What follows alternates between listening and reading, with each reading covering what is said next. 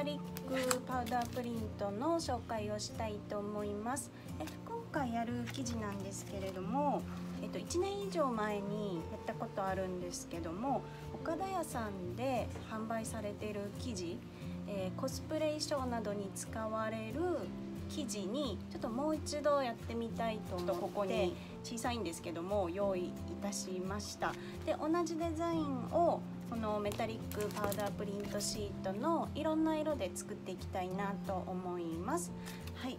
で、えー、ちなみに、えーもともとのこのパウダープリントシートは全色顔料インクプリンター専用商品なんですけれども、えー、今メタリックパウダープリントをするにあたって、えー、下地の色は関係ないので今回は全色顔料インクプリンターの黒の顔料インクを使って出します。はい、なので、えデータは、えー、カラーじゃなくても黒一色で、えー、用意してもらえば大丈夫です。大福のカラーも、えーと、いろいろあってこれ7色セットっていうのもありますしちょっとこれホイールのみのえーと、いろんな色なんですけれどもホイールとこのパウダープリントシートのみの組み合わせでも作れますのでどちらでも大丈夫です。これだと同じ色が3枚入ってるセットになります、はい、でここにあるちょっと生地ですね、はい、1枚ずつちょっと生地の紹介もしながらやっていけたらと思います。それではいつものようにパウダープリントシートに印刷をしていきます、回はこの PX インクという全色顔料インクで出すんですけれども黒のみ顔料インクのプリンターで出していただいても大丈夫です。反転印刷ですね。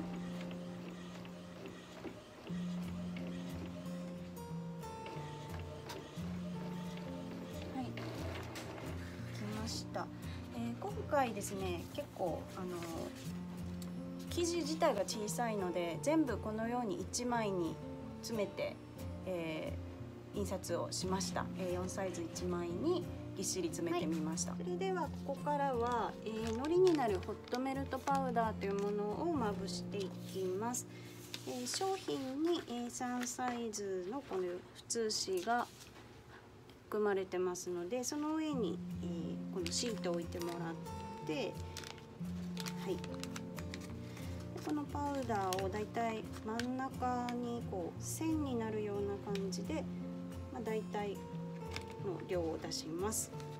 はいそしたらこう両端の余白のところを持って少し持ち上げてもらってこの時にこうこういう感じでこう U に U 字になるというかこうたゆませてもらってえっとこうこのまま左右にこう粉をこの線状を保ったままこう動かすとつけやすいです。はい、これでもう終わりです。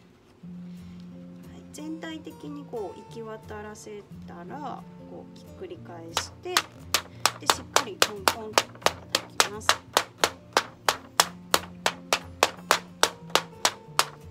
はい、なるべくこう下の方でしっかりこう叩いてもらうとこう飛び散らないのではい。はい OK ですね、はい、でこの今下に落ちた粉をまた次回使うので袋に戻して。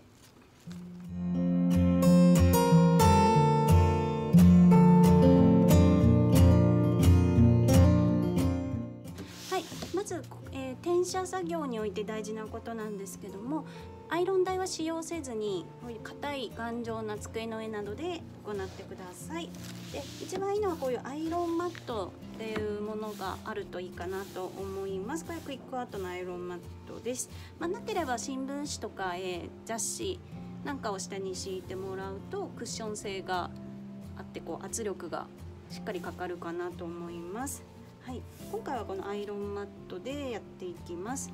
まずちょっと,、えーと、1枚目の生地。これクラッシュベロアですね。いきなりこういうベロアをやってみたいと思います。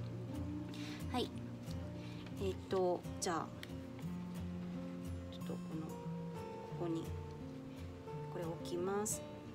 はい。で、えー、なんでですけれどもスチームはなしドライで使用します。温度はだいたい150度の中温ぐらいで使用します。シリコン紙をこう上にかぶせましてこれ小さいんですけどこう、まあ、実際こう大きい A4 サイズと同じような感じでやっていきますね。このようにこうさっと放射状にこう仮押さえをしましてこの後はこうぐーっと両腕をこう伸ばす感じで縦にこうグッグッとこう押し込みますこうアイロンの向きもこう変えてもらいながら、まあ、ドライアイロンだとですねこう穴が開いてないので大丈夫だと思うんですけど、えー、多くのアイロンは穴が開いてると思うのでこうちゃんと横にしたり縦にしたり向きを変えながら行っていただくといいかなと思います。だいたい5秒4回ずつぐらいそれぞれ押さえてください。ちょっとこれまあ小さいのでもうこれで十分という感じですね。でとりあえずパウダープリントだけを、えーと、8個今作っていきます。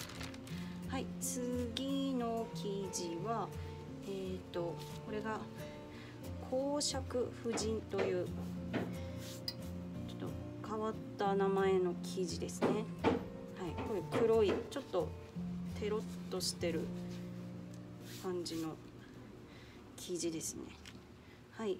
これちょっと表裏があるのですべすべつるつるしてる方にやっていきます。ちょっとこの端っこに置いては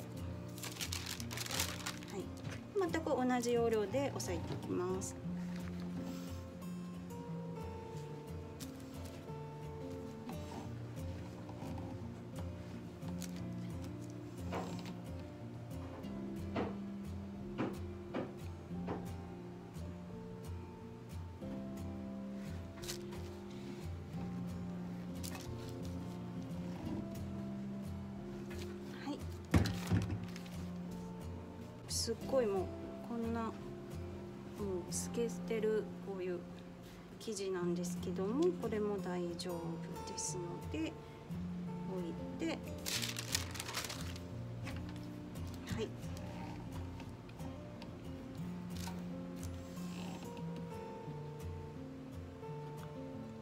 はいしっかり押さえます。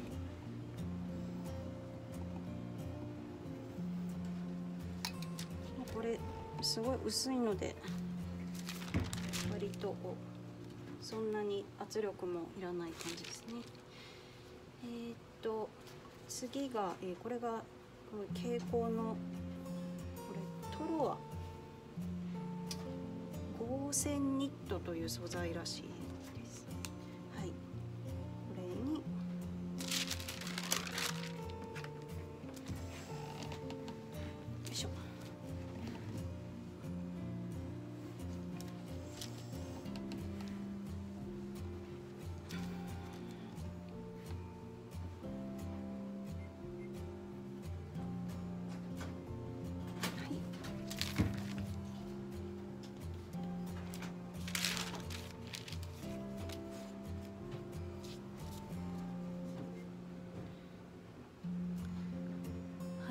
次あちょっとめちゃ一番小さい。入るかな。さっきのオーガンジーと似てるんですけどこれが 50D ジョーゼットという生地でこれもすっごい薄い。けどちょっとこんな感じでギリギリ ギリギリのところで入れます。ませんちょっと生地の大きさがそれぞれ違うのでとギリ入れました。こ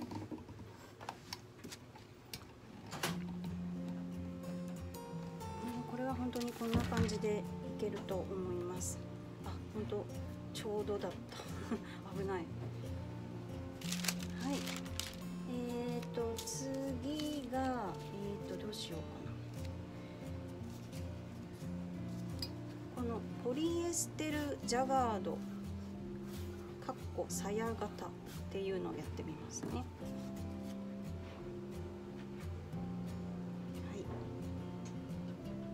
こっちが表ですね。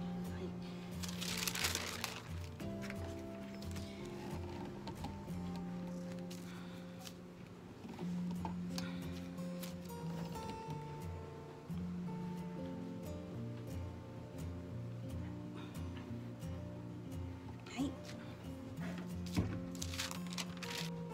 次はこうやってえーと、伸びるこう水着とかレオタードに使われるような素材ですかね。ツーウェイトリコットという生地です。にもやってみます。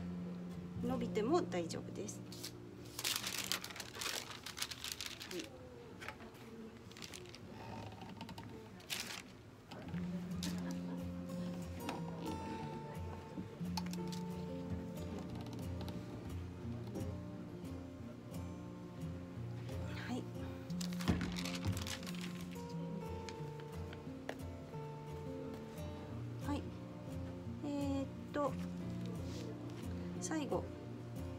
最後じゃないあと2つですね。ちょっとデータがあと1個足りなかった。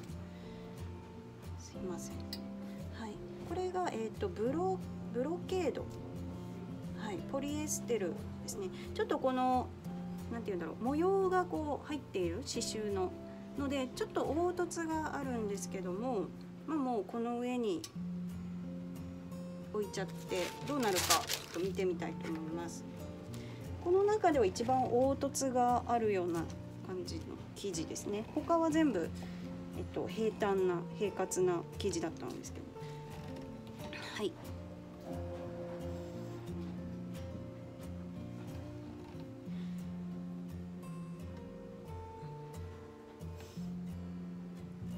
いしょ。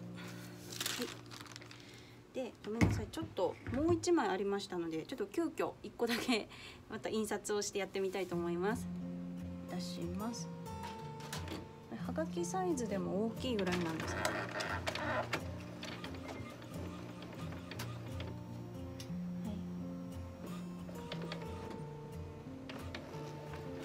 このような感じでまぶしたので、えー、最後のこの生地なんですけどこれバーズアイという生地ですね。でこれちょっと気をつける点が、えーと、表裏があるんですけどもどっちが表なのかちょっとわからないんですが、えっと、凹凸がある方にやってしまうとこの凸の部分にしかプリントが乗らないのでない方ちょっとこの映像では分かりにくいんですけどこう触ってもらうとこっちがないっていうのが分かるのでない方にプリントをします。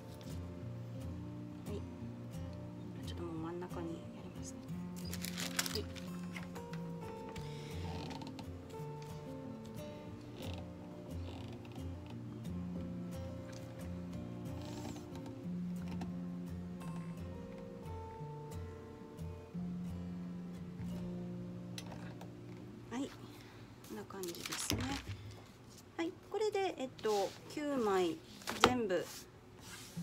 はい。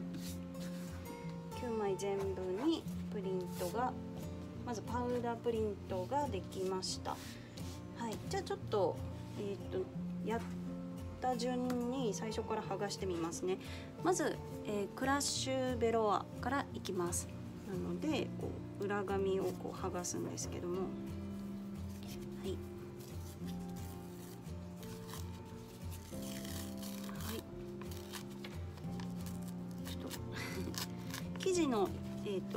ですねがこう紙に映ってますけども、まあ、これ問題ないんです。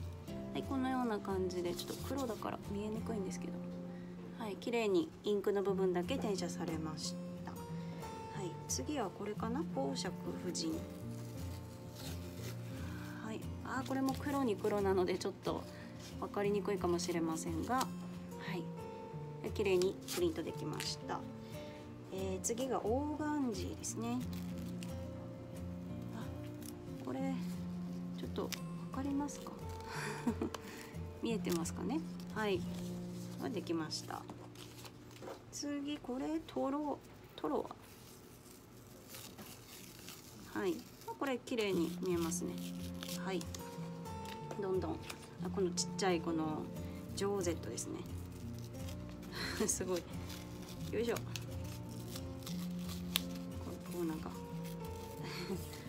すごいギリギリで 全部入ってます。はい。入ってきてます。えー、っと次がこれかな？ジャガード？ポリエステルジャガー。さや型。はい。これもちょっと見えにくいですが綺麗です。えーと次この伸びるこのトリコットですね。はい。黒黒。できてます。はい。でブロケードか。ブロケードです。はい。おあでも見てください。これ綺麗にプリント全部乗りました。見えるのかな？はい。できてます。こっちには何も残ってないですね。はい。で先ほどの、えー、最後のバーズアイはい。はい。もう全然問題なく全部きれいにできましたので、まあ、ここからちょっとメタリック加工をしていただくものがあってえティッシュ1枚もしくは、えこのメラミンスポンジですね。掃除などでこう使うスポンジ。はい。どちらかが必要になります。え今日この生地がたくさんあるのでちょっとティッシュとこのメラミンスポンジ両方のパターンで、えー、お見せしたいと思います。まずじゃあティッシュからやっていくんですが、まあ、なんでこれ必要かって言いますとメタリックの付きが良くなるということでこの今プリントしたこのパウダープリントの、えー、とこの絵柄のところですねをこうちょっとこう小さく折りたたんだティッシュでこういうふうにちょっと力を少し入れてこうこする。A より少し大きめにこすります。はい。こうすることでですねちょっと表面が荒れてメタリックのこのホイルがつきやすくなるので綺麗に仕上がります。はい。じゃあどんどんちょっとまず、えー、最初の4枚ぐらいをこすっていきたいと思います、まあ、ちょっと順番はちょっと前後するんですけどこれ。はい。でえっ、とこれも 薄いけどこうこんな感じで。でちょっと生地によってはこのティッシュのこうクズがでで払ってもらいながらはい。えっ、と次オーガンジーをします。はい。じゃあちょっと4枚終わったのでここからはこのこっちのメラミンスポンジでこすっていきます。ちょっと黒黒黒のやつは見えにくいかもしれないんですけど、まあ、さっきと同じような感じで絵の部分にこう力を入れてちょっと大きめにこすります、まあ、方向とかはまあ特に縦とか横とか何でもいいかなと思いますね。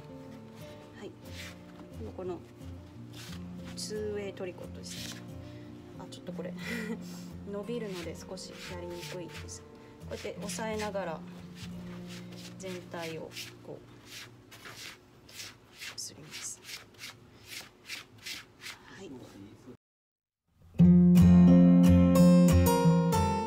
はい。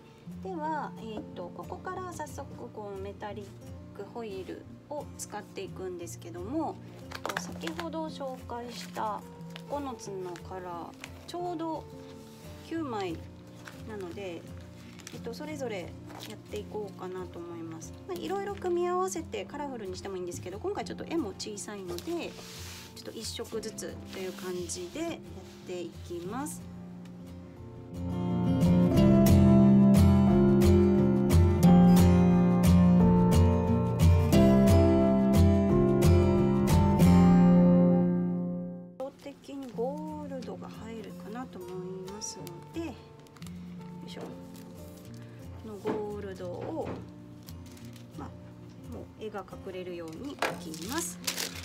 シリコン紙を上に置いて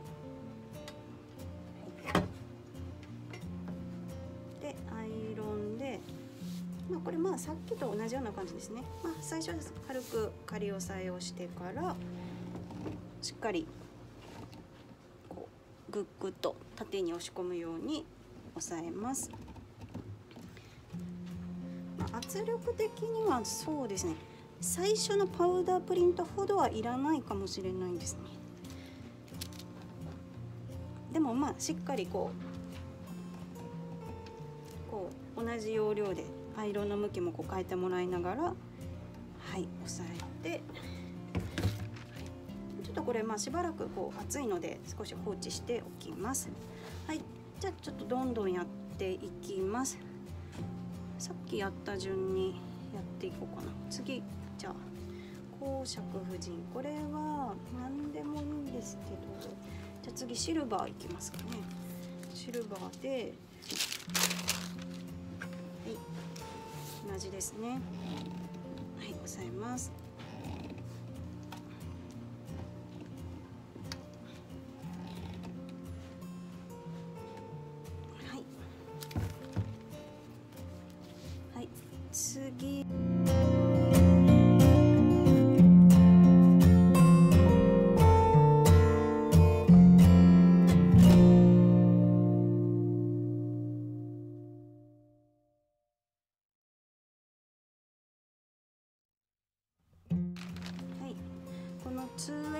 2way トリコットにはホワイトをやってみます。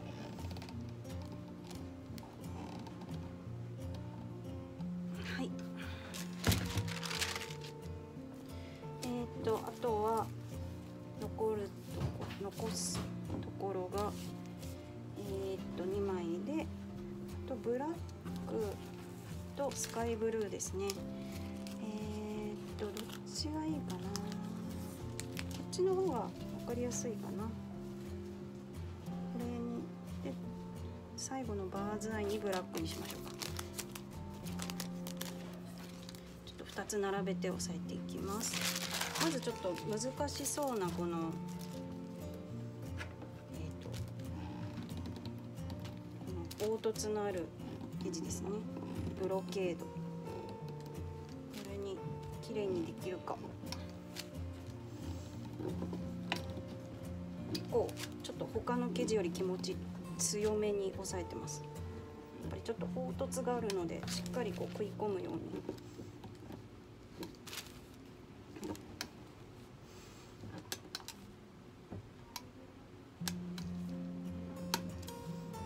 はい。こっちは、えーメタリックブラックですね。バーズアイ。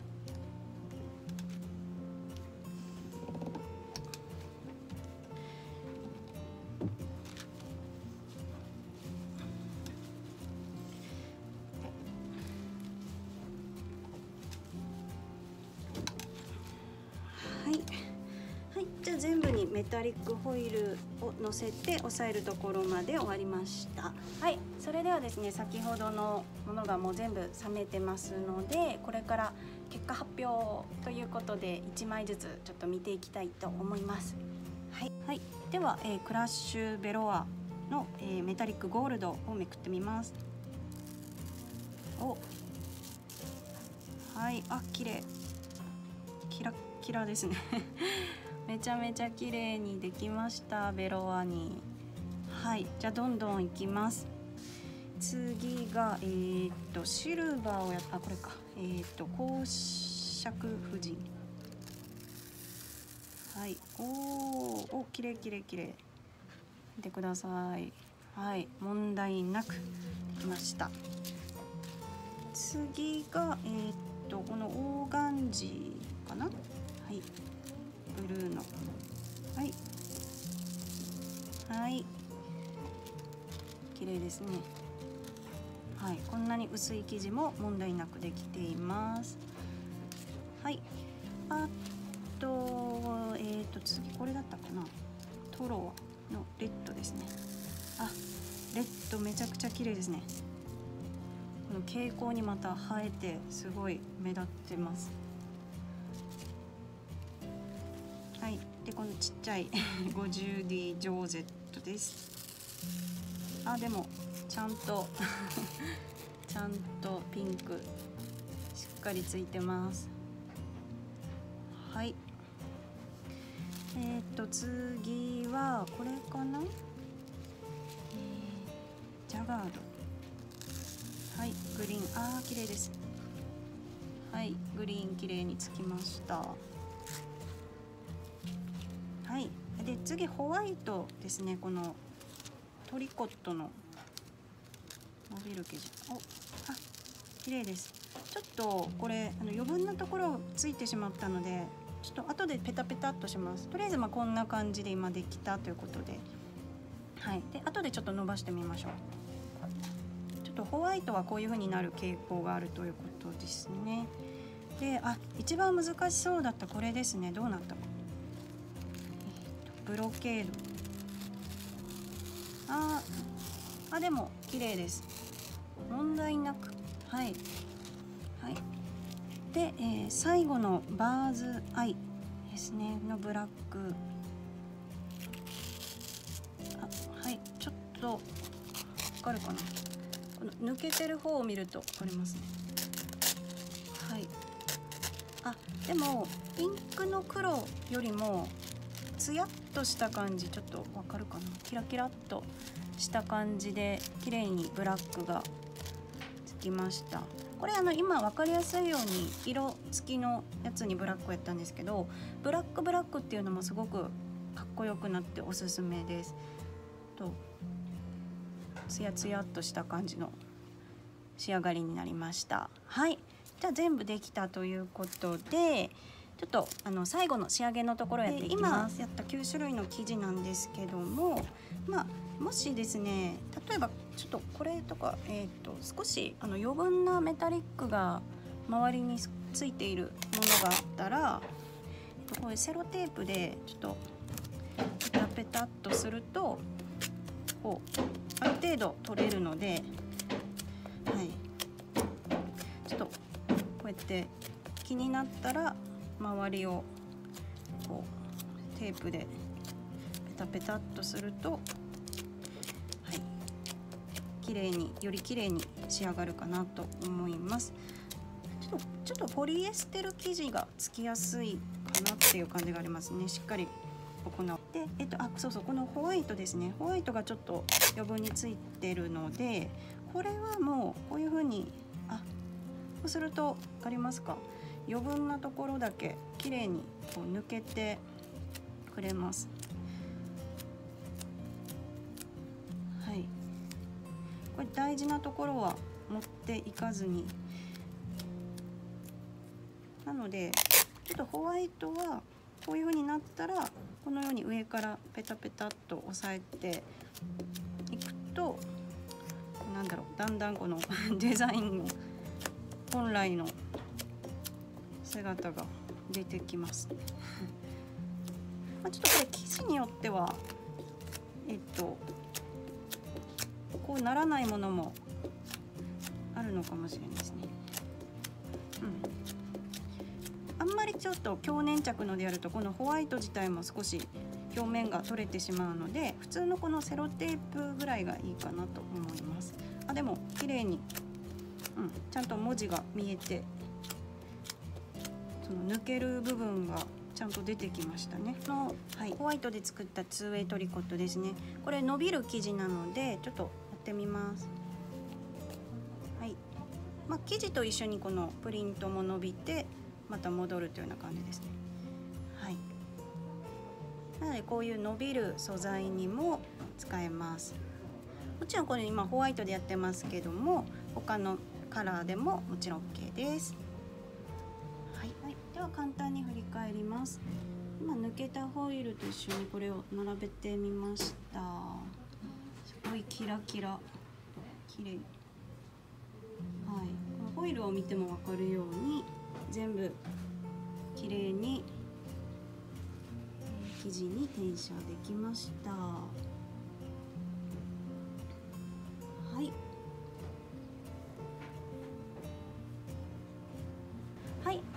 わけで今回はメタリックパウダープリントを使って岡田屋さんの9種類の生地に、え、転写をしてみました、え、どれも綺麗にできましたちょっと凹凸のある生地とか気をつける点はあるんですけれども今のような簡単な作り方で、え、こういうコスプレ衣装に使える生地にも綺麗なメタリックプリントができるので皆さんもぜひぜひぜひチャレンジしてみてください。はい、ではありがとうございました。